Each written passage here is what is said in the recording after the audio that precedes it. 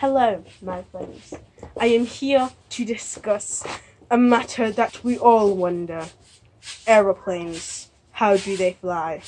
Well, this is what this video is about. Aliens! Aliens are the answer to everything.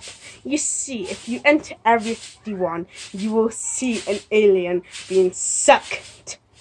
All the life out of it being sucked and, and injected into an aeroplane to make it fly.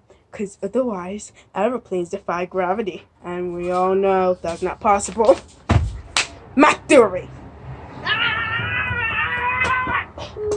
Another reason aeroplanes can't fly. They're fatter than me. I mean, come on. Something that heavy cannot stay up in the ground while I am still here. I mean, come on, people. You gotta see the truth. Good day.